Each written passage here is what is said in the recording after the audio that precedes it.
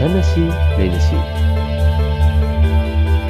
悲しい寝主 namu yang belum jadi pun karena minasi tanah minasi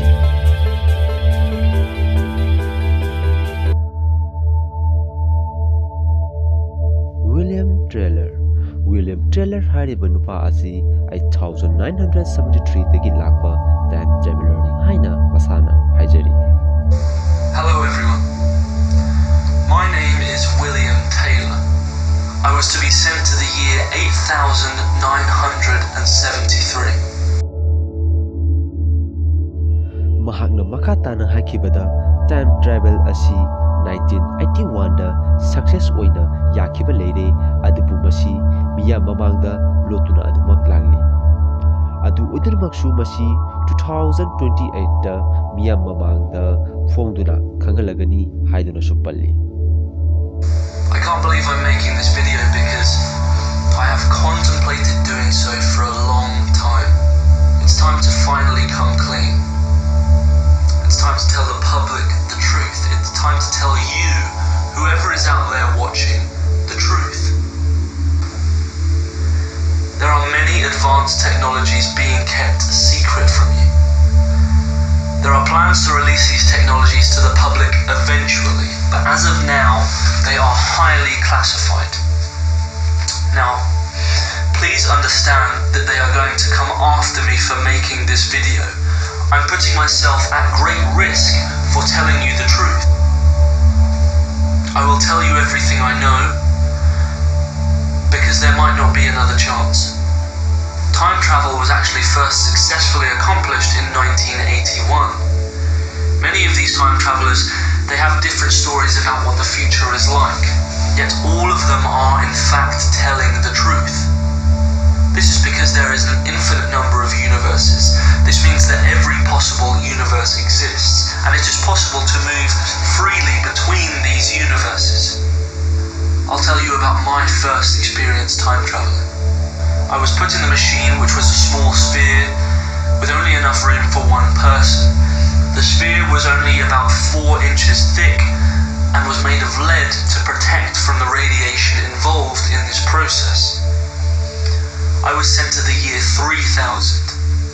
I was still inside of the spherical machine, however, through the window now, I saw a red sky. I opened the hatch and got out. It was in the middle of a large city covered with smog, very large buildings, but nobody seemed to be on the base level. It was empty. I looked up and saw flying transportation hundreds of feet above me, and I could only see the lights penetrating through the thick smog. I got an indication that the oxygen levels were low, so I had to get back inside of the time machine. I travelled back to the year I came from and was soon back inside my natural time. The scientist said I had only been gone for a few seconds, while I spent several minutes in the future. After telling the scientists my story, they then explained to me how exactly everything works.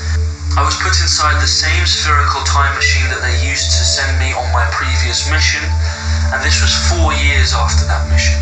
I again lost consciousness when the machine was powered on. When I regained consciousness, I saw light peering into the window of the time machine. It was very bright. I looked below and saw green grass and above me a blue sky. I determined that the air would be safe to breathe, so I opened the hatch and stepped out, proceeding to look around.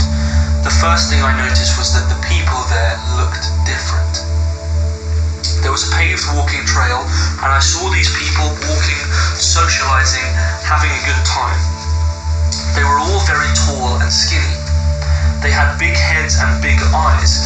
I walked over to a group of these people, standing in a circle, and unsure of what to say, I just said, Excuse me, what year is this? These.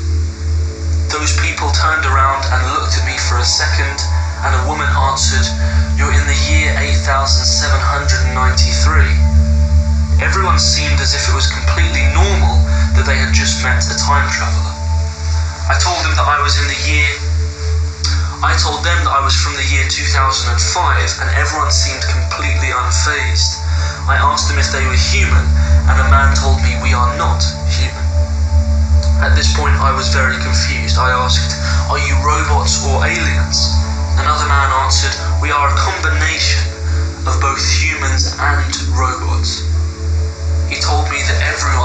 forever. I feel the need to communicate this because advanced technologies are being kept secret from you, but not for long. They plan to release these technologies like time travel to the public in 2028. People need to know about this. Remember to keep innovating with new technologies and new cures.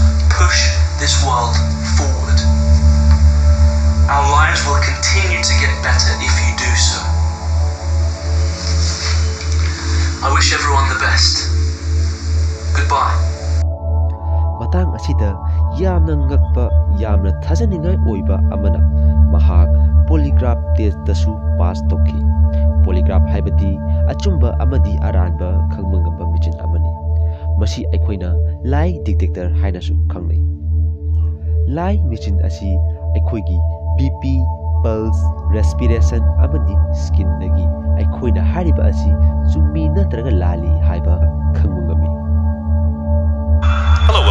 How are you today? Hello, uh, I'm glad to be here.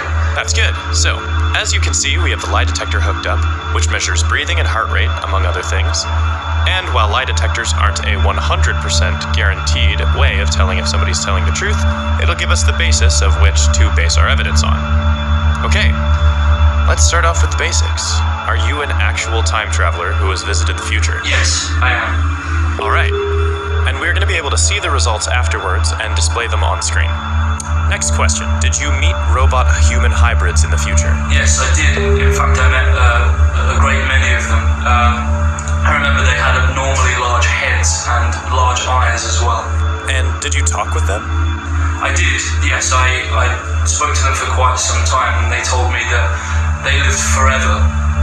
And uh, they also didn't seem too surprised that I was there, which led me to believe that time travel was quite a commonplace thing at that period of time in the future. So, you time traveled using a machine. Yes, I travelled in a spherical machine that is so small it only fits one single person, and it's uh, encased in a thick layer of lead to protect from radiation. Interesting. While in the year 8973, did you meet any actual humans?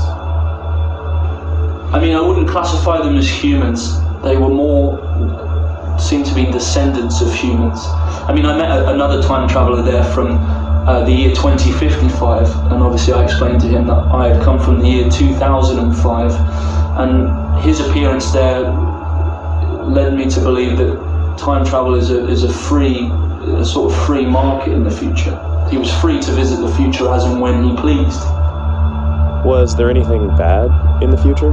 No. It was, uh, as I said, it, it, was a utopia. There was no crime or conflict.